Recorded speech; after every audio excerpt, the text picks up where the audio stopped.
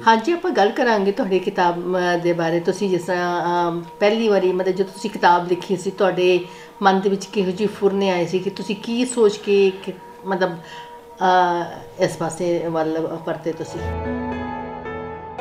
ਵਿਪਰੀਤ ਬੁੱਧੀ ਆ ਜਾਂ ਡਿਫਰੈਂਟ ਜਾਨੀ ਜਿਹੜੇ ਕਿਹੜਾ ਕਿ ਜਿਹੜੇ ਸਬਜੈਕਟਾਂ ਬਾਰੇ ਬਹੁਤ ਲਿਖਿਆ ਗਿਆ ਹੋਵੇ, ਉਹਨਾਂ ਬਾਰੇ ਮੇਰਾ ਨਹੀਂ, ਮੈਂ ਕਹਿੰਦਾ ਕੋਈ ਨਵੀਂ ਚੀਜ਼ ਹੋਵੇ, ਨਵੀਂ ਚੀਜ਼ ਹੋਈਏ, ਜੇ ਜਿਹਦੇ ਕਿਸੇ ਕਾਪੀ ਨਾ ਹੋਵੇ, ਹਨਾ? 10 ਦੁਆਰੇ ਹੈਗੇ ਨੌ ਪ੍ਰਗਟ ਹੈਗੇ ਦਸਵਾਂ ਗੁਪਤ ਹੈਗਾ ਤਾਂ ਉਹਨਾਂ ਬਾਰੇ ਜਿੱਦਾਂ ਹੁਣ ਸਾਨੂੰ ਮਹਾਰਾਜ ਨੇ ਅੱਖਾਂ ਚੱਲੇ ਸੀ ਇਹ ਨੇਤਰੋ ਮੇਰਿਓ। ਅੱਖਾਂ ਬਾਰੇ ਕੰਨਾਂ ਬਾਰੇ ਨਾਸਕਾ ਬਾਰੇ ਜੀਭ ਸਵਾਦ ਬਾਰੇ ਇਸ ਤਰ੍ਹਾਂ ਸਾਡੇ ਜੋ ਇੰਦਰੀਆਂ ਥੱਲੇ ਹੈਗੀਆਂ ਤਾਂ ਜਿਹੜਾ ਦਸਵਾਂ ਦੁਆਰਾ ਉਹ ਗੁਪਤ ਵਾ। ਸੋ ਇਹਨਾਂ ਇਹਨਾਂ ਬਾਰੇ ਲਿਖਿਆ ਇਹਨਾਂ ਬਾਰੇ ਆਮ ਤੌਰ ਤੇ ਘੱਟ ਲਿਖਿਆ। ਮੈਂ ਹਿੰਦੀ ਦੀ ਵੀ ਕਾਫੀ ਮਹਾਰਤ ਸੀਗੀ ਜਦੋਂ ਮੈਂ ਇੱਧਰ ਆਇਆ। ਤਾਂ ਉਹ ਫਿਰ ਮੈਨੂੰ ਥੋੜੀ ਭੁੱਲਣ ਲੱਗ ਪਈ। ਤਾਂ ਫਿਰ ਮੈਂ ਇੱਕ ਵਾਰੀ ਗੁਟਕਾ ਲਿਆਂਦਾ ਹਿੰਦੀ ਦੇ ਵਿੱਚ। ਜੀ ਜੀ। ਫਿਰ ਮੈਂ ਅੱਖਰਾਂ ਦੀ ਪਹਿਚਾਣ ਰਵੇ ਮੈਂ ਭੁੱਲਣਾ ਨਹੀਂ ਚਾਹੁੰਦਾ ਜੋ ਕੁਝ ਹੈਗਾ ਉਹ ਕਾਤੇ ਗਵਾਈਏ। ਮੈਂ 8ਵੀਂ ਚੋਂ ਆਇਆ ਸੀਗਾ। ਠੀਕ ਹੈ। ਤੇ ਪੰਜਾਬੀ ਹਿੰਦੀ ਦੀ ਮੇਰੀ ਕੋਈ ਉੱਥੋਂ ਸੀਗੀ ਮਹਾਰਤ। ਇੱਥੇ ਆਣ ਕੇ ਬਾਅਦ ਫਿਰ ਮੈਂ ਪੰਜਾਬੀ ਏ ਲੈਵਲ ਵੀ ਕੀਤਾ ਤੇ ਪੰਜਾਬੀ ਦੀ ਐਮਏ ਯੂਨੀਵਰਸਿਟੀ ਦੇ ਨਾਲ ਵੀ ਕੀਤੀ। ਪਹਿਲੀ ਵਾਰੀ ਗੁਰਦੁਆਰਾ ਸੀਸ ਗੰਜ ਸਾਹਿਬ ਤੋਂ ਰਾਗੀ ਸੀ। ਇੱਥੇ ਮਿਲ ਬੁਲਾਏ। ਪਹਿਲਾਂ ਰਾਗੀ ਨਹੀਂ ਸੀ ਕੋਈ ਹੁੰਦਾ। ਇੱਥੇ ਘੱਟ ਹੁੰਦੇ ਸੀ। ਬੀਬੀਆਂ ਵੀ ਘੱਟ ਹੁੰਦੀਆਂ ਸੀਗੀਆਂ। ਜਿਹੜਾ ਆਮ ਤੌਰ ਤੇ ਗੁਰਦੁਆਰੇ ਲੰਗਰ ਹੁੰਦਾ ਸੀ ਐਤਵਾਰ ਨੂੰ। ਉਹ ਅਹ ਛੋਲਿਆਂ ਨੂੰ ਟੁਟਕਾ ਲਾਇਆ ਹੁੰਦਾ ਸੀ ਮੇਲਾ ਮਾਈਂਡ ਦੇ ਬੋਲ ਜਿਹੇ ਹੁੰਦੇ ਸੀਗੇ ਤੇ ਨਾਲ ਚਾਹ ਹੁੰਦੀ ਸੀ।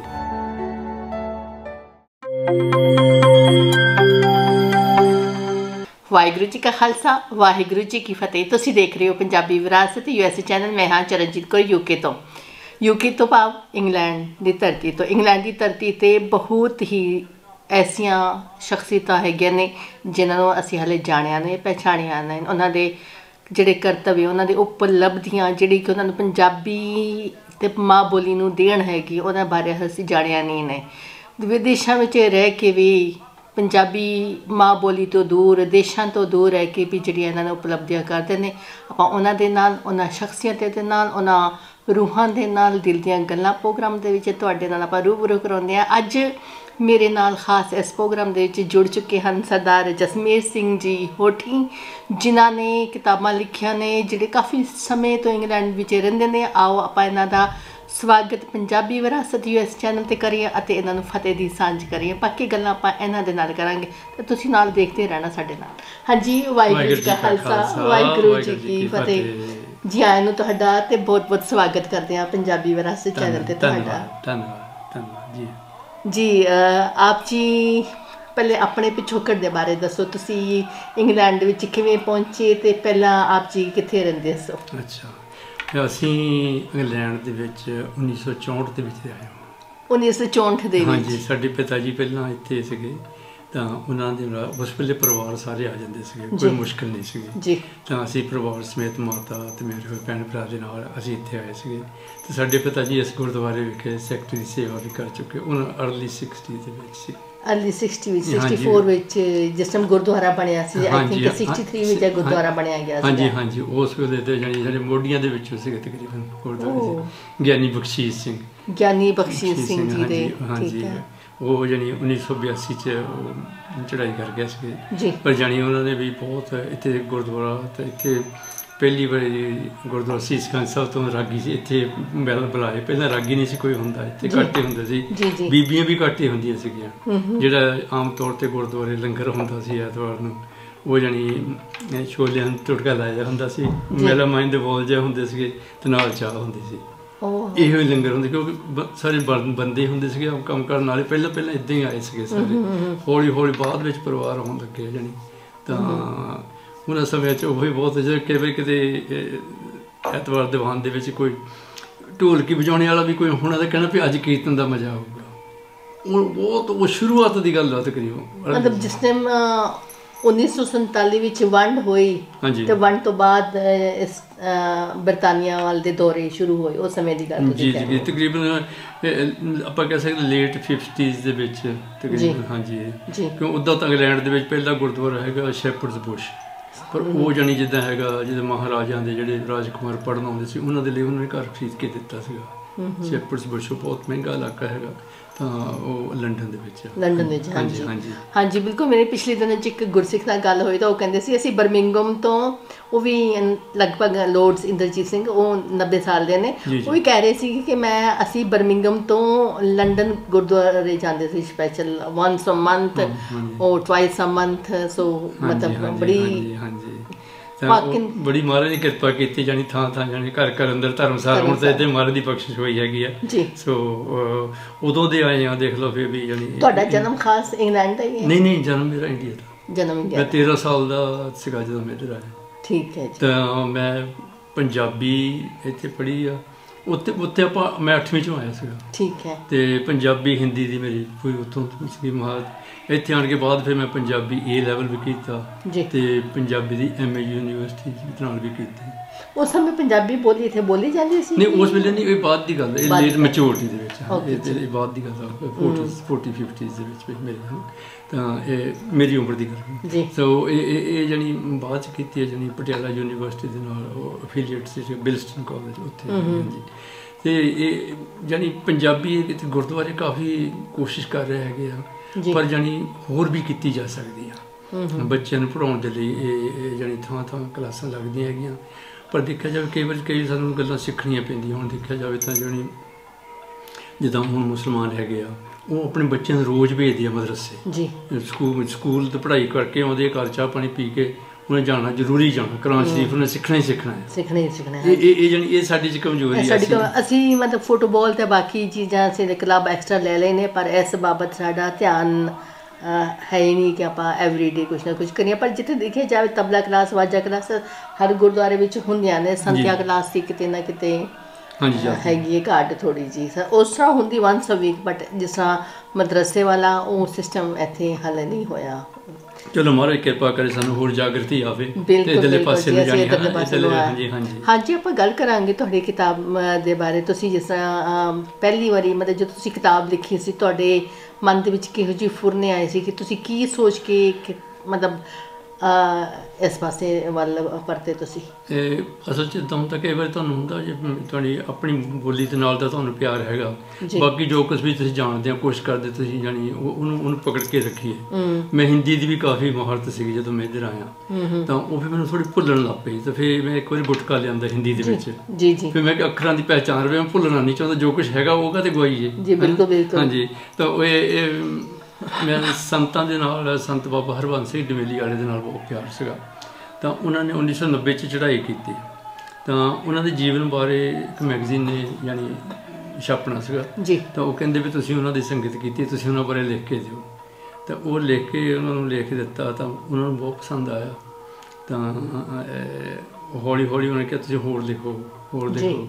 ਤਾਂ ਫਿਰ ਮੇਰੇ ਜਿੱਦਾਂ ਸ਼ੁਰੂ ਤੋਂ ਜਿੱਦਾਂ ਕਦੀ ਥੋੜੀ ਜਿਹੀ ਵਿਪਰੀਤ ਬੁੱਧੀ ਆ ਜਾਂ ਡਿਫਰੈਂਟ ਜਾਨੀ ਜਿਹੜੇ ਕਿਹੜੇ ਅੱਗੇ ਜਿਹੜੇ ਸਬਜੈਕਟਾਂ ਬਾਰੇ ਬਹੁਤ ਲਿਖਿਆ ਗਿਆ ਹੋਵੇ ਉਹਨਾਂ ਬਾਰੇ ਮੇਰਾ ਨਹੀਂ ਮੈਂ ਕਹਿੰਦਾ ਕੋਈ ਨਵੀਂ ਚੀਜ਼ ਹੋਵੇ ਨਵੀਂ ਚੀਜ਼ ਹੋਈਏ ਜੇ ਜਿਹਦੇ ਕਿਸੇ ਕਾਪੀ ਨਾ ਹੋਵੇ ਹਨਾ।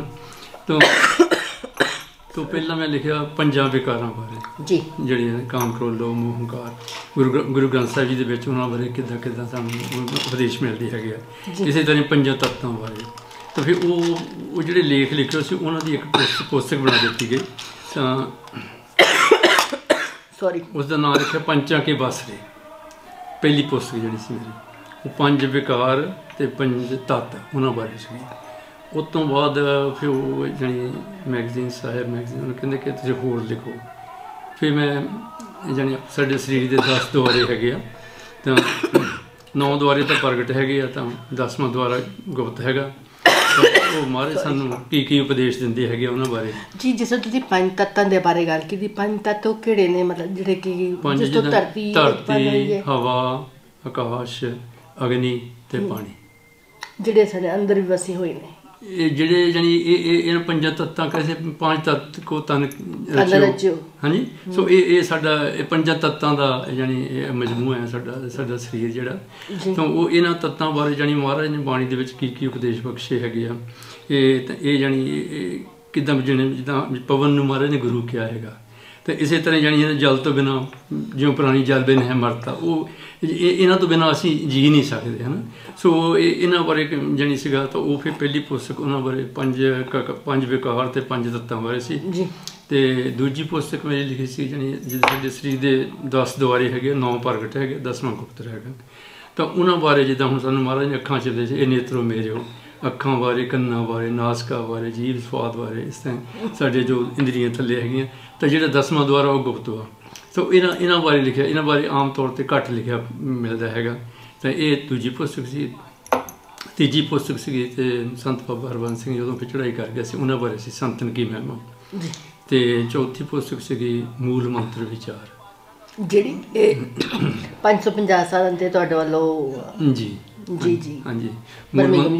ਮੂਲ ਮੰਤਰ ਵਿਚਾਰ ਉਹ ਵੀ ਹਿੰਦੀ ਚ ਵੀ ਟ੍ਰਾਂਸਲੇਟ ਹੋਈ ਹੈ ਉਹ ਅੱਛਾ ਇੱਕ ਇੱਕ ਅਨੁਵਾਦ ਉਹਦਾ ਪੰਜਾਬੀ ਚ ਤੇ ਇੱਕ ਅਨੁਵਾਦ ਉਹਦਾ ਪੰਜਾਬੀ ਚ ਤਾਂ ਵੀ ਜਾਣੀ ਆਪਾਂ origignal ਲਿਖਿਆ ਹਾਂਜੀ ਹਾਂਜੀ। ਤੇ ਹਿੰਦੀ ਵਿੱਚ ਉਹਦਾ ਅਨੁਵਾਦ ਕੀਤਾ ਗਿਆ।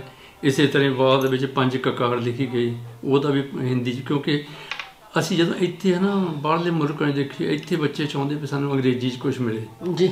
ਤੇ ਉਧਰਲੇ ਆਪਣਾ ਇੰਡੀਆ ਦੇ ਬਾਕੀ ਹੋਰ ਪ੍ਰਾਂਤਾਂ ਜਾਈਏ ਦਿੱਲੀ ਜਾਈਏ ਪਟਨਾ ਸਾਹਿਬ ਹਜੂਰ ਸਾਹਿਬ ਜਾਈਏ ਉਹ ਸਾਰੇ ਸਿੱਖ ਫੈਮਲੀਆਂ ਬੱਚੇ ਕਹਿੰਦੇ ਕਹਿੰਦੇ ਸਾਨੂੰ ਸਿੱਖ ਪਰਿਵਾਰ ਕਹਿੰਦੇ ਕੋਈ ਹਿੰਦੀ 'ਚ ਨਹੀਂ ਮਿਲ ਸਕਦੀ ਸਾਡੇ ਬੱਚੇ ਹਿੰਦੀ ਪੜ੍ਹਦੇ ਆ। ਜੀ। ਤੋਂ ਫਿਰ ਤਿੰਨ ਪੁਸਤਕਾਂ ਦਾ ਹਿੰਦੀ 'ਚ ਤਰਜਮਾ ਕਰਵਾਇਆ ਹੈਗਾ।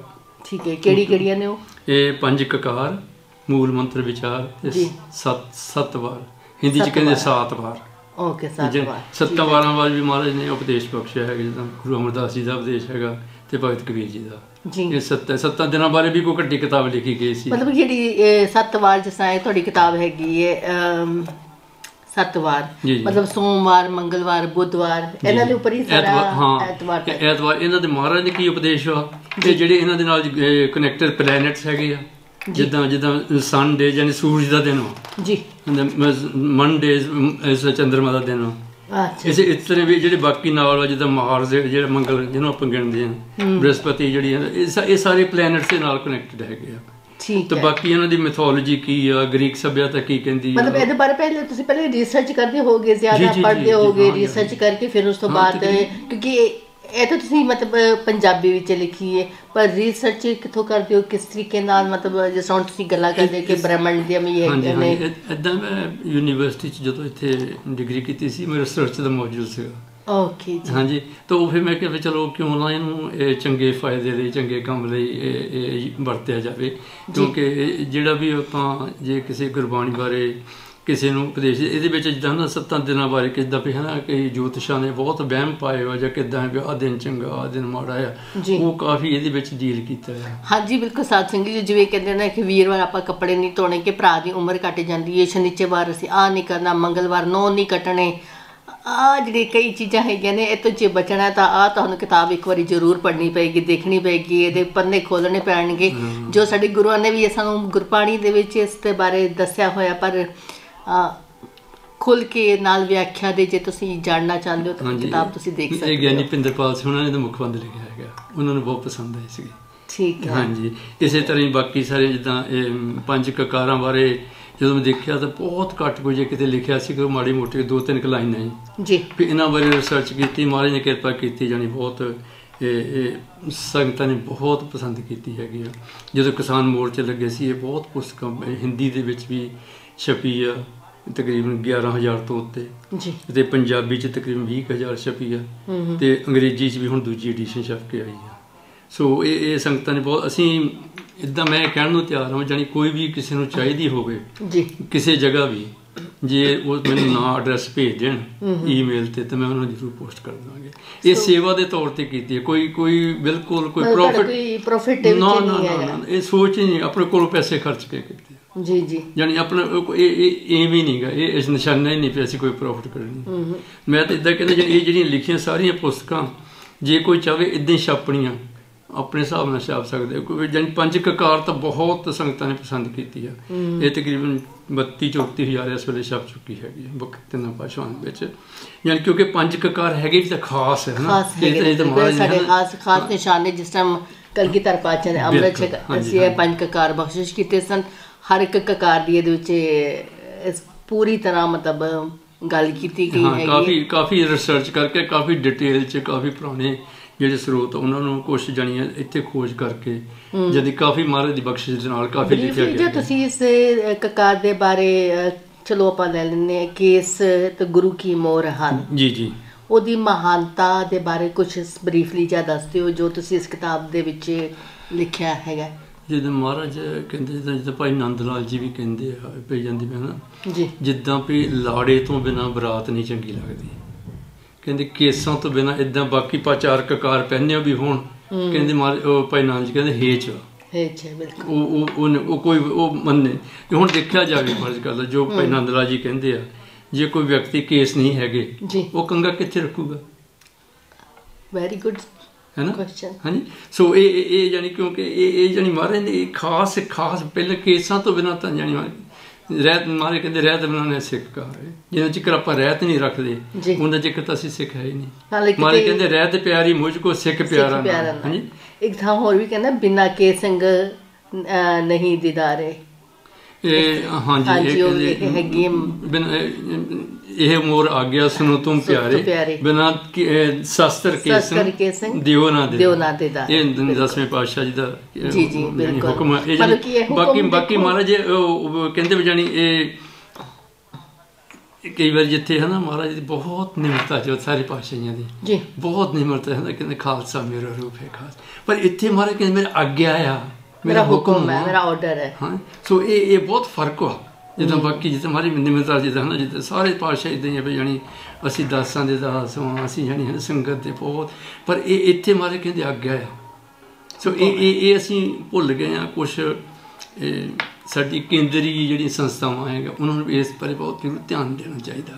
ਕੋਈ ਐਸੇ ਜਿਹੜੀ ਅੱਗੇ ਲੀਡਰ ਹੋਣ ਜਿਹੜੇ ਜਿਹੜੇ ਬਾਕੀਆਂ ਦੇ ਲਈ ਕਿਸਮ ਦਾ ਰੋਲ ਮਾਡਲ ਹੋਣ ਉਹਨਾਂ- ਉਹਨਾਂ ਨੂੰ ਪਤਾ ਲੱਗੇ ਵੀ ਹਨਾ ਇਹ ਤੋਂ ਸੇਧ ਰਹਿਣੀ ਆ। ਜੀ ਜੇ ਸਾਡੇ ਪਿੱਛੇ ਜਾਨੀ ਬਹੁਤ ਵੱਡੀ ਪਰ ਅੱਜ ਬਹੁਤਾਤ ਵਿੱਚ ਦੇਖਿਆ ਜਾਵੇ ਸਾਡੀਆਂ ਖਾਸ ਕਰਕੇ ਕਹਿੰਦੇ ਨੇ ਕਿ ਪਹਿਲੀਆਂ ਮਾਤਾਵਾਂ ਇਸ ਤਰ੍ਹਾਂ ਸੀ ਜਿਹੜੀ ਕਿ ਸੂਰਮੇ ਭਗਤ ਜਰਨੈਲ ਜੰਮਦੀਆਂ ਸੀਗੀਆਂ। ਤੇ ਅੱਜ ਦੀਆਂ ਮਾਤਾਵਾਂ ਨੂੰ ਜਦੋਂ ਵੇਖਦੀਆਂ ਉਹ ਐਸੇ ਸ਼ੋਸ਼ੇਪਣ ਕਰਦੀਆਂ ਨੇ ਤੇ ਮਾਮਾ ਪਹਿਲੇ ਸ਼ੋਸ਼ੇਪਣ ਕਰਦੀਆਂ ਨੇ ਫਿਰ ਉਸ ਤੋਂ ਬਾਅਦ ਉਹਨਾਂ ਤੋਂ ਗਾਂਵ ਬੱਚੇ ਕੀ ਸਿੱਖਣਗੇ ਉਹ ਧੀ ਕੀ ਸਿੱਖੇਗੀ ਕਿ ਸਾਡੇ ਕੋਲ ਇਹੋ ਜਰਨੈਲ ਵਾਪਸ ਪੈਦਾ ਹੋਣਗੇ ਕਿ ਉਹ ਮਾਂ ਵਾਪਸ ਬੀਬੀ ਭਾਨੀ ਵਰਗੀ ਹੋਏਗੀ ਗੁਜਰੀ ਵਰਗੀ ਮਾਂ ਆਏਗੀ ਸਾਡੇ ਕੋਲ? ਸਾਡੇ ਉਹ ਇਦਾਂ ਸੀਗਾ ਜਦੋਂ ਪੁਰਾਤਨ ਸਮੇਂ 'ਚ ਆਪਾਂ ਦੇਖੀ ਨਾ ਇਹ ਸਾਰੇ ਬਾਣੀ ਬਹੁਤ ਪੜ੍ਹਦੇ ਸੀ। ਜੀ। ਖਾਸ ਤੌਰ ਤੇ ਮਾਤਾਵਾਂ ਜਦੋਂ ਪਤਾ ਲੱਗ ਜਾਂਦਾ ਸੀ ਸਾਡੇ ਅੰਦਰ ਸਰੀਰ ਦੇ ਵਿੱਚ ਕੋਈ ਬੱਚਾ ਫਾਦਿਆ ਤਾਂ ਬਹੁਤ ਜ਼ਿਆਦਾ ਬਾਣੀ ਪੜ੍ਹਦੇ ਸੀ। ਉਹ ਬਾਣੀ ਜਾਨੀ ਉਹ ਜਾਨੀ ਇੱਕ ਅਸੀਂ ਉਹਨਾਂ ਨੂੰ ਅੰਦਰ ਬੱਚੇ ਨੂੰ ਸੁਣਦੀ ਆ। ਹੂੰ। ਜਾਨੀ ਇਹ ਸਾਰੇ ਜਾਨੀ ਸਾਰੀਆਂ ਰਿਸਰਚਾਂ ਹੋ ਗਈਆਂ ਜੋ ਮਾਤਾ ਖਾਂਦੀ ਪੀਂਦੀ ਆ ਜੋ ਮਾਤਾ ਕਰਦੀ ਆ ਉਹ- ਜਾਨੀ। ਉਸ ਹਿਸਾਬ ਦੇ ਨਾਲ ਬੱਚਾ ਡਿਵੈਲਪ ਹੁੰਦਾ ਹੈਗਾ। ਸੋ ਉਹ ਸ਼ੁਰੂ ਤੋਂ ਹੀ ਬੱਚੇ ਜਾਨੀਆਂ ਜਿਹੜੇ ਜਿਹੜੇ ਭਗਤ ਹੁੰਦੇ ਇਹਦੇ ਕਿਉਂਕਿ ਉਹ ਅੰਦਰ ਬਹੁਤ ਬਹੁਤ ਬਹੁਤ ਪਾਣੀ ਪਾਠ ਕਰਦੇ ਸੀ। ਯਾਨੀ ਸਾਥ ਸਿਮਰੋ ਗੋਬਿੰਦ ਮਹਾਰਾਜ ਤੇ ਕਹਿੰਦੇ ਆ ਹਨਾ। ਸੋ ਉਹ ਇਸ ਕਰਕੇ ਫੇ ਜਦੋਂ ਬਾਣੀ ਤੋਂ ਪਿੱਛੇ ਹਟ ਗਏ ਆ ਤਾਂ ਫੇ ਮਹਾਰਾਜ ਵੀ ਕਹਿੰਦੇ ਵੀ ਇਹ ਤੇ ਪਿੱਛੇ ਹਟ ਪਿੱਛੇ ਕੋਈ ਗੱਲ ਨਹੀਂ ਪਰ ਮਹਾਰਾਜ। ਕਹਿੰਦੇ ਤੁਸੀਂ ਮੇਰੇ ਇੱਕ ਵੱਲ ਇੱਕ ਕਦਮ ਮੇਰੇ ਵੱਲ ਚੱਲੋ ਤਾਂ ਭਾਈ ਗੁਰਦਾਸ ਜੀ ਕਹਿੰਦੇ ਚਰਨ ਸਰਨ ਗੁਰ ਏਕ ਪੈਂਡਾ ਜਾਏ ਚੱਲ ਸਤਗੁਰ ਕੋਟ ਪੈਂਡਾ ਅੱਗੇ ਹੋਏ ਹੈ। ਪਰ ਜੇ ਅਸੀਂ ਗੁਰੂ ਸਾਹਿਬ ਤੋਂ ਪਿੱਛੇ ਹਾਂ ਕਹਿੰਦੇ ਕੋਈ ਗੱਲ ਨਹੀਂ ਫਿਰ ਜਦੋਂ ਆਊਗਾ ਨੇੜੇ ਫਿਰ ਦੇਖਾਂਗੇ। ਬਿਲਕੁਲ ਜਦੋਂ ਫਿਰ ਤੂੰ ਜਾਗੇਗਾ ਤੇ ਰਸੇ ਤੈਨੂੰ ਕੋਈ ਹਲੂਣਾ ਦੇਗਾ ਤੇ ਵਾਪਸ ਤੂੰ ਆ ਜਾਵੇਂ ਕੋਈ। ਦਰਬਾਰ ਉਸਨੇ ਆਪਣੇ ਖੁੱਲੇ ਰੱਖੇ ਹੋਏ ਨੇ ਸਾਡੇ ਵਾਸਤੇ। ਸੋ ਤੇ ਜਿਹੜੀਆਂ ਤੁਸੀਂ ਇੱਕ ਇੱਕ ਹੋਰ ਕਿਤਾਬ ਆਪਣੀ ਹੈਗੀ ਤੁਹਾਡੀ ਆਹ ਕਿਤਾਬ ਹੁਣ ਇਹ। ਕਿਤਾਬ ਹੁਣ ਨਵੀਂ ਛਪੀ ਆ ਸੱਭੇ ਰੁੱਤੀ ਚੰਗੇ ਰੁੱਤਾਂ ਬਾਰੇ ਉਪਦੇਸ਼ ਆ। ਇਹ ਜਿਹੜੀ ਸ਼ੇਰ ਸ਼ੇਰ ਰੁੱਤਾਂ। ਜਿਹੜੀ ਚਾਰ ਰੁੱਤਾਂ ਕਹਿੰਦੇ ਨੇ ਪਰ ਚਾਰ ਰੁੱਤਾਂ ਇੱਧਰ ਕਹਿੰਦੇ ਆ। ਹਾਂਜੀ। ਗੁਰਬਾਣੀ 'ਚ ਛੇ ਬੰਦੇ ਆ। ਛੇ ਰੁੱਤਾਂ। ਹਾਂਜੀ। ਕਿਹੜੀਆਂ ਕਿਹੜੀਆਂ ਪੰਜਵੇਂ ਪਾਤਸ਼ਾਹ ਜੀ। ਆ ਦੇਖੋ ਆ ਜਿਹੜਾ ਹੈਗਾ ਨਾ ਆ ਹੈਗੀ ਸਰਸ ਬਸੰਤ। ਹਾਂਜੀ। ਮੈਂ ਗੁਰੂ ਅਰਜਨ ਸਾਹਿਬ ਜੀ ਨੇ ਜਿਹੜੇ ਛੇ ਰੁੱਤੀ ਉਪਦੇਸ਼ ਆ। ਜੀ। ਆ ਹੈਗੀ ਗ੍ਰੀਖਮ ਰੁੱਤ ਜਿਹਨੂੰ ਗਰਮੀ ਕਹਿੰਦੇ ਜੀ ਜੀ। ਆ ਹੈਗੀ ਆ ਵਰਸ ਬਰਖਾ ਰੁੱਤ। ਬਰਖਾ ਰੁੱਤ। ਇਹ ਆ ਹੈਗੀ ਆ ਸਰਦ। ਇਹਨੂੰ ਜਿਹੜਾ ਪਤਝੜ ਕਹਿੰਦੇ ਆਪਾਂ। ਆਟਮ ਠੀਕ ਹੈ? ਜੀ। ਆ ਹੈਗੀ ਜਾਨੀ ਸਿਸੀਅਰ। ਮਾਰੇ ਜਿਹਨੂੰ ਆਪਾਂ ਵਿੰਟਰ ਕਹਿ ਦਿੰਦੇ Winter ਕਹਿੰਦੇ, ਤੇ ਆ ਹੈਗੀ ਆ ਹਿਮਕਰ ਜਿਹੜੀ ਬਰਫਾਨੀ ਰੁੱਤ। ਬਰਫਾਨੀ ਰੁੱਤ। ਮਹਾਰਾਜ ਨੇ ਇਹ ਦੋ ਦੋ ਮਹੀਨੇ ਦੀਆਂ ਛੇ ਰੁੱਤਾਂ ਮੰਨੀਆਂ ਹੈਗੀਆਂ। ਇਹ ਹੈ। ਇੱਥੇ ਆ ਪੇ ਤਿੰਨ ਤਿੰਨ ਮਹੀਨੇ ਦੀਆਂ ਚਾਰ ਮੰਨਦੇ ਆ। ਜੀ। ਕਈ ਦੁਨੀਆ 'ਚ ਐਸੇ ਵੀ ਥਾਂ ਹੈਗੇ ਜਿੱਥੇ ਡੇਢ 8 8 ਰੁੱਤਾਂ ਮੰਨਦੇ ਸਾਲ ਦੀਆਂ। ਡੇਢ ਡੇਢ ਮਹੀਨੇ ਦੀਆਂ। ਡੇਢ ਮਹੀਨੇ। ਹਾਂਜੀ। ਦੋ ਤਿੰਨ ਥਾਂ ਹੈਗੀਆਂ ਇੱਧਰ ਆਸਟ੍ਰੇਲੀਆ ਵਰ ਹੈਗੀ ਆ ਇੱਧਰ ਨਾਰਵੇ ਵਾਲੇ ਹੈਗੇ ਆ। ਉਹਨਾਂ ਦੇ ਨਾਂ ਦਿੱਤੇ ਹੋਏ ਸਾਰੇ ਵਿੱਚ ਬਕਾਇਦਾ। ਹੂੰ ਹੂੰ। ਜਿਹੜੇ ਉਹ ਉਹ ਉਹ ਕਿੱਦਾਂ ਮੰਨਦੇ ਉਹਨਾਂ ਦੇ ਕੀ ਉਹਨਾਂ ਦੇ ਕਿੱਦਾਂ ਹੈਗੇ ਆ? ਉਹ ਜਦੋਂ ਵੀ ਜਦੋਂ ਵੀ ਜੇ ਮਤਲਬ ਜਿਸ ਹੁਣ ਇਹ ਕਿਤਾਬ ਹੈ ਸਭੇ ਰੁੱਤ ਰੁੱਤੀ ਚੰਗੀਆਂ। ਪਰ ਇਹ ਹੈਗਾ ਮਾਰੇ ਪਹਿਲੇ ਪਾਸੇ ਦਾ ਉਦਾਂ ਇਹ ਹੁਕਮ ਆ ਮਾਰੂ ਰਾਗ ਦੇ ਵਿੱਚ। ਜੀ। ਸਭੇ ਰੁੱਤੀ ਚੰਗੀਆਂ ਜੇ ਤਾਂ ਸੱਚੇ ਸਿਉਣੇ ਹੋ ਜੇ ਤੁਹਾਡੇ ਸੱਚੇ ਨਾਲ ਪਿਆਰ ਹੈ ਸਾਰੀਆਂ ਰੁੱਤਾਂ ਸਾਰੀਆਂ ਚੰਗੀਆਂ। ਰੁੱਤਾਂ ਚੰਗੇ ਵੇ ਭਰਮ ਦਾ ਦੀ ਕੋਈ ਗੁੰਜਾਇਸ਼ ਹੀ ਨਹੀਂ ਹੈ। ਕੋਈ ਗੁੰਜਾਇਸ਼ ਕੋਈ ਮੰਗਲੀ ਜਿਹੜੀ ਹੁੰਦੀ ਹੈ ਜੋ ਉਹਨਾਂ ਦੀ ਹਿੰਦੂ ਰੀਤੀ ਰਿਵਾਜ ਦੇ ਉਹ ਕਰਦੇ ਨੇ ਕਿ ਕੁੰਡਲੀ ਬਣਾਉਣਾ ਜਾਂ ਹਵਨ ਕਰਨੇ ਜਾਂ ਇਹੋ ਜਿਹੀ ਚੀਜ਼ਾਂ ਦਾ ਤੇ ਇਹਦੇ ਵਾਸਤੇ ਕੋਈ ਥਾਂ ਹੀ ਨਹੀਂ ਬਚਦੀ ਹੈਗੀ ਹੈ ਮਹਾਰਾਜ ਬਾਣੀ ਚ ਕਹਿੰਦੇ ਕਹਿੰਦੇ ਨਾਨਕ ਸੋਈ ਦਿਨਸ ਸੁਹਾਵੜਾ ਜਿਤ ਪ੍ਰਭ ਆਵੇ ਚਿਤ। ਜਿਤ ਦਿਨ ਵਿਸਰੇ ਪਾਰ ਰਮ ਫਿੱਟ ਭਲੇਰੀ ਰੁੱਤ। ਭਲੀ ਰੁੱਤ ਵੀ ਹੋਵੇ ਤਾਂ ਬੇ- ਬੇਕਾਰ ਹੈ। ਬੇਕਾਰ ਹੈ ਜੇ ਰੱਬ ਭੁੱਲ ਗਿਆ ਤਾਂ। ਜੇ ਰੱਬ ਭੁੱਲ ਗਿਆ ਤਾਂ ਸਭ ਕੁਝ ਬਿਲਕੁਲ ਸਹੀ ਜੇ ਉਹਦੇ ਨਾਲ ਪਿਆਰ ਹੋ ਤਾਂ ਸਾਰੀਆਂ ਚੰਗੀਆਂ ਸਭੇ ਰੁੱਤੀ ਚੰਗੀਆਂ ਸਭੇ ਜੇ ਸੱਚੇ ਸਿਉਣੇ ਹੋ ਪਹਿਲੇ ਪਾਤਸ਼ਾਹ ਦਾ ਹੁਕਮ ਮਾਰੂ ਰਾਗ ਦੇ ਹਾਂਜੀ। ਸੋ ਤੇ ਅੱਗੇ ਆਪ ਜੀ ਆਉਣ ਵਾਲੇ ਸਮੇਂ 'ਚ ਕੀ ਕਰਨਾ ਚਾਹੋਗੇ? ਕਿਉਂਕਿ ਕਿਤਾਬਾਂ ਤਾਂ ਆਪ ਲਿਖ ਚੁੱਕੇ ਹੋ। ਅੱਗੇ ਅੱਗੇ ਦੀ ਆਪ ਜੀ ਦੀ ਕੀ ਪਲਾਨ ਕਈ ਵਾਰੀ ਕੀ ਤਾਂ ਨਾ ਤੁਹਾਡੀ ਆਪਣੀ ਮਰਜ਼ੀ ਨਹੀਂ ਹੁੰਦੀ। ਜੇ ਮਹਾਰਾਜ ਕਿਰਪਾ ਕਰਦੇ ਤਾਂ ਮਹਾਰਾਜ ਦੀ ਬਖਸ਼ਿਸ਼ ਮਹਾਰਾਜ ਤੋਂ ਅਰਦਾਸ ਕਰਕੇ ਕੋਈ ਕੰਮ ਸ਼ੁਰੂ ਕੀਤਾ ਰੋੜੇ ਕੰਮ ਸੋ ਹਰ ਜੀ। ਆਖੀਏ। ਸੋ ਮਹਾਰਾਜ ਕਿਰਪਾ ਕਰੇ ਇੱਕ ਦੋ ਵਿਚਾਰ ਹੈਗੇ ਆ ਜਿੱਧਰ ਨੂੰ ਮਹਾਰਾਜ ਪ੍ਰਵਾਨਗੀ ਦੇਣਗੇ ਫਿਰ ਉਧਰ ਨੂੰ ਚੱਲਾਂਗੇ। ਤੁਸੀਂ ਇੱਕ ਗੱਲ ਹੋਰ ਆਖੀ ਸੀਗੀ ਕਿ ਮੈਂ ਇੰਗਲੈਂਡ ਵਿੱਚ ਕਾਫੀ ਸਮੇਂ ਤੋਂ ਹੈਗਾ ਵਾਂ ਪਰ ਮੈਂ ਇੰਗਲੈਂਡੀ ਘੱਟ ਤੇ ਦੇਸੀ ਜ਼ਿਆਦਾ ਵਾਂ। ਉਸ ਬਾਰੇ ਦੱਸੋ ਉਹ ਗੱਲ ਮੇਰੇ ਦਿਮਾਗੋਂ ਹਟ ਹੀ ਨਹੀਂ ਰਹੀ ਮੈਂ ਕਿ ਪੁੱਛਾਂਗੀ ਕਿ ਇਸ ਗੱਲ ਦਾ ਇਹ ਇਦਾਂ ਹੈਗਾ ਦੇਖੋ ਇਹ ਸ਼ੁਰੂ ਤੋਂ ਹੀ ਜਿੱਦਾਂ ਸਾਡੇ ਪਿਤਾ ਜੀ ਇਦਾਂ ਗੁਰਦੁਆਰੇ ਸੀ ਸਾਡੇ ਮਾਤਾ ਜੀ ਵੀ ਬਹੁਤ ਪਾਠ ਕਰਦੇ ਸੀਗੇ। ਜੀ। ਸੋ ਜਣੀ ਜੋਨੀ ਥੋੜਾ ਬੰਦਾ ਅੱਗੇ ਪਿੱਛੇ ਵੀ ਹੋ ਜਾਂਦਾ ਪਰ ਮਹਾਰਾਜ ਨੇ ਕਿਰਪਾ ਕੀਤੀ ਹੈ ਜਣੀ ਸਾਨੂੰ ਸੰਭਾਲ ਰੱਖਿਆ ਤਾਂ ਮਹਾਰਾਜ ਦੀ ਬਖਸ਼ਿਸ਼ ਦੇ ਨਾਲ ਹੀ ਜਣੀ ਆ ਪੰਜਾਬੀ ਪੜ੍ਹੀ ਵੀ ਆ ਪੰਜਾਬੀ ਇਹ ਲੈਵਲ ਉਸ ਸਮੇਂ ਉਸ ਸਾਲ ਦੇ ਵਿੱਚ ਮੈਂ ਸਭ ਤੋਂ ਕਿਹੜੇ ਦੀ ਗੱਲ ਹੈ? ਮੈਨੂੰ ਲੱਗਦਾ ਕਾਫੀ ਦੇਰ ਦੀ ਗੱਲ ਹੈ ਹੁਣ ਹੁਣ ਤੇ ਤਕਰੀਬਨ 90s ਦੀ ਵਿੱਚ ਹੁਣ। 90 ਦੇ ਵਿੱਚ ਠੀਕ ਤਾਂ ਉਸ ਸੀਜ਼ਨ ਮੈਂ ਸਭ ਤੋਂ ਬੈਸਟ ਸੀਗਾ ਤੇ। ਇਦਾਂ ਜਿਹੜੀ ਰਿਲੀਜੀਅਸ ਸਟੱਡੀਜ਼ ਮੈਂ ਇੰਗਲਿਸ਼ ਕੀਤੀ ਸੀਗੀ ਉਹ 'ਚ ਵੀ ਮੈਂ ਸਾਰੇ ਤੋਂ ਬੈਸਟ ਸੀਗਾ ਆਪਣੇ ਸਭ ਟੌਪਿਕ ਦੇ ਵਿੱਚ। ਸੋ ਇਹ ਇਹ ਨਹੀਂ ਆਪੇ ਮਹਾਰਾਜ ਦੀ ਵਡਿਆਈ ਆ ਆਪਾਂ ਆਪਾਂ ਇਹ ਨਹੀਂ ਕਹਿ ਸਕਦੇ ਤੁਹਾਡੀ ਯੋਗਤਾ ਹੈ। ਇਹ ਸਤਿਗੁਰੂ ਜੀ ਬਖਸ਼ਿਸ਼ ਕਰਦੇ ਆ ਤਾਂ। ਹੋ ਜਾਣੀ ਹਾਂਜੀ। ਤਾਂ ਇਹ ਨਾਲ ਦੇ ਨਾਲ ਇਹ ਜਾਣੀ ਜਦੋਂ ਤੁਸੀਂ ਕਹੇ ਕਿ ਲਿਖਣਾ ਹੈਗਾ ਤੁਹਾਨੂੰ ਹੋਰ ਵੀ ਖੋਜ ਕਰਨੀ ਪੈਂਦੀ ਆ। ਜੇ ਤੁਸੀਂ ਹੁਣ ਜਿੱਦਾਂ ਦਿਨਾਂ ਬਾਰੇ ਲਿਖਿਆ ਹੋਰ ਮਜ਼ਹਬ ਕੀ ਕਹਿੰਦੇ ਆ? ਜੀ। ਉਹ ਉਹ ਜਿਹੜੇ ਜਿਹੜੇ ਪਲੈਨਟਸ ਆ ਜਾਂ ਜਿਹੜੇ ਪਿੱਛੇ ਜੇ ਗ੍ਰੀਕ ਸਭਿਅਤਾ ਦਾ ਬਹੁਤ ਪੇ ਪਿੱਛੇ ਜਾਨੀ ਤਾਂ ਉਹ ਉਹਨਾਂ ਦਾ ਕੀ ਆ? ਇਹ ਸੱਤ ਵਾਰ ਲਿਖਣ ਲਈ ਮੈਂ ਹਨਾ ਜਿਹੜੇ ਪੁਰਾਣ ਹੈਗੇ ਆ ਜੀ। ਤੇ ਵੇਦ ਉਹਨਾਂ ਦੇ ਸਾਰੀ ਟ੍ਰਾਂਸਲੇਸ਼ਨ ਪੜ੍ਹੀ ਅੰਗਰੇਜ਼ੀ ਚ। ਓਕੇ ਜੀ। ਸੰਸਕ੍ਰਿਤ ਤਾਂ ਆਪਾਂ ਨਹੀਂ ਮੈਂ ਨਹੀਂ ਪੜ੍ਹ ਸਕਦੇ। ਸੰਸਕ੍ਰਿਤੀ ਸ਼ਲੋਕ ਤਾਂ ਮਹਾਰਾਜ ਨੇ ਜੀ, ਉਹ ਸਿੰਪਲ ਵਰਸ਼ਨ ਦਿੱਤਾ ਹੈ ਨਾ ਪਰ ਉਹ ਸੰਸਕ੍ਰਿਤ ਥੋੜੀ ਜ਼ਿਆਦਾ ਮਹਿੰਗੀ ਬਣੀ ਹੈ ਜੇ। ਭਾਸ਼ਾ ਹੈਗੀ ਆ। ਜਿਵੇਂ ਜਰਮਨ ਜਰਮਨ ਤਾਂ ਆਮ ਬੋਲੀ ਜਾਂਦੀ ਹੈ ਪਰ ਉਹਦੀ ਜਿਹੜੀ ਲਥਾਈਨ ਹੈ ਉਹ ਸੰਸਕ੍ਰਿਤ ਵਾਂਗੂ ਹੀ ਹੈਗੀ ਥੋੜੀ ਜਿਹੀ।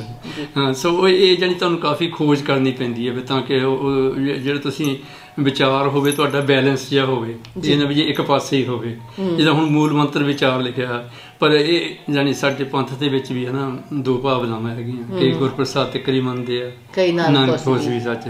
ਆਪਾਂ ਮੈਂ ਇਦਾਂ ਲਿਖਿਆ ਵੀ ਜਾਨੀ ਜਿੰਨਾ ਕੋਈ ਪੜਦਾ ਭਲਾ ਹੀ ਆ। ਮਹਾਰਾਜ ਦੀ ਕਿਰਪਾ ਆ। ਜਾਣੀ ਹਨਾ ਜਿੰਨੀ ਕਿਸੇ ਨੂੰ ਮਹਾਰਾਜ ਨੇ ਆਪ ਆਪਣੀ ਬੁੱਧ ਹੈ ਦਿੱਤੀ ਹਨਾ ਜਿੱਦਾਂ ਜਿੱਦਾਂ। ਸੋ ਇਹ ਪਰ ਉਹ ਜਿੰਨਾ ਕੋਈ ਕਰੇ ਉਨਾ ਹੀ ਭਲਾ ਆ। ਪਰ ਮੈਂ ਵਿਚਾਰ ਕੀਤੀ ਸੀ ਨਾਨਕ ਹੋਸੀ ਵੀ ਸੱਚ ਤੱਕ ਤਾਂ ਪਰ ਜਾਨੀ ਬੈਲੈਂਸ ਵਿਚਾਰੇ ਕਿਸੇ ਨੂੰ ਗਲਤ ਨਹੀਂ ਕਿਹਾ ਕਿਸੇ ਨੂੰ ਮਾੜਾ ਨਹੀਂ ਕਿਹਾ।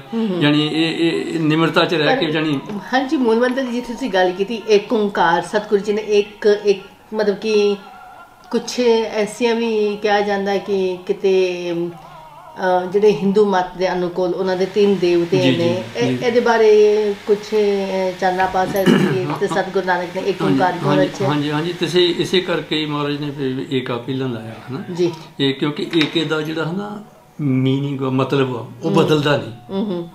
ਇੱਕ ਨਹੀਂ ਇੱਕ ਹੀ ਰਹਿਣਾ। ਹਿੰਸੇ 'ਚ ਲਿਖਿਆ ਮਹਾਰਾਜ ਨੇ। ਜੀ। ਜੇ ਈੜੀ ਨੂੰ ਸਿਆਰੀ ਕੱਕਾ ਪਾ ਦੇ ਉਹਦਾ ਥੋੜਾ ਫ਼ਰਕ ਹੋ ਬਦਲ ਵੀ ਜਾਂਦਾ। ਪਾ ਸਕਦਾ ਸੀਗਾ। ਦੋ ਤਿੰਨ ਤਰ੍ਹਾਂ ਗੁਰੂ ਗ੍ਰੰਥ ਸਾਹਿਬ ਚ ਆਉਂਦੀ ਈੜੀ ਨੂੰ ਕੱਕੇ ਨੂੰ ਸਿਆਰੀ ਵੀ ਆਉਂਦੀ ਆ। ਜੀ। ਕੱਕੇ ਨੂੰ ਔਂਕੜ ਵੀ ਆਉਂਦਾ ਆ। ਸੋ ਇਦਾਂ ਜਾਨੀ ਇਹ ਇਹ ਪਰ ਜਿਹੜੇ ਹਿੰਦੂ ਦੀ ਸਨਾਤਨ ਧਰਮ ਦੀ ਇਹ ਮਾਨਤਾ ਹੈਗੀ ਹੈ ਵੀ ਬ੍ਰਹਮਾ ਜੀ ਪੈਦਾ। ਕਰਨ ਵਾਲੇ ਹੈਗੇ। ਵਿਸ਼ਨੂੰ ਜੀ ਪਾਲਣਾ ਕਰਦੇ ਆ ਤੇ ਸ਼ਿਵ ਜੀ ਜਿਹੜੇ ਸ਼ਿੰਗਾਰ ਕਰਦੇ ਇਹ ਸਰੀਰ ਮਹਾਰਾਜ ਕਹਿੰਦੇ ਨੇ ਉਹ ਇੱਕੋ ਹੀ ਆ ਇੱਕੋ ਹੀ ਜੋਤ ਆ। ਮਹਾਰਾਜ ਕਈ ਉਪਦੇਸ਼ ਆਉਂਦੇ ਆ ਵੀ ਉਹ ਦੇਖੇ ਉਹਨਾਂ ਨੂੰ ਨਜ਼ਰ ਨਾ ਆਵੇ ਹਨਾ? ਇਦਾਂ ਜਾਨੀ ਬਹੁਤ ਥਾਂ ਤੇ ਆਉਂਦਾ ਵੀ ਇਹ ਜਾਨੀ ਇਹ ਦੇਵਤੇ ਆ ਪਰ ਜਾਨੀ ਇਹ ਉੱਥੇ ਤੱਕ ਉਹ ਪਹੁੰਚੇ ਨਹੀਂ। ਇਹ ਬੱਕਰੇ ਬੱਕਰੇ ਜਾਨੀ ਹਨਾ ਪਰ ਜਿੱਦਾਂ ਦੀ ਕਿਸੇ ਦੀ ਮਨੋਤ ਅਸੀਂ ਕਿਸੇ ਨੂੰ ਗਲਤ ਨਹੀਂ ਕਹਿੰਦੇ। ਅਸਲ 'ਚ ਜਦੋਂ ਹਨਾ ਅਸੀਂ ਕਿਸੇ ਨੂੰ ਨੀਮਾ ਦਿਖਾਉਣ ਲੱਗ ਪੈਂਦੇ ਆ। ਉਹ ਫਿਰ ਸਾਡੀ ਕਮਜ਼ੋਰੀ ਦਿਸਣ ਲੱਗ ਪੈਂਦੀ ਹੈ। ਜੇ ਉਹਦੀ ਬਜਾਏ ਤੁਸੀਂ ਆਪਣਾ ਜਿਹੜਾ ਮਹਾਰਾਜ ਦਾ ਉਪਦੇਸ਼ ਉਹਨੂੰ ਪ੍ਰਮੋਟ ਕਰੋ। ਹੂੰ। ਉਹਨੂੰ ਅਸੀਂ ਕਰਾਂਗੇ ਤਾਂ ਫਿਰ ਅਗਲੇ ਆਪੇ ਹਲਕੇ ਹੋ ਜਾਣਗੇ ਹਲਕੇ ਹੋ ਜਾਣਗੇ ਹਨ?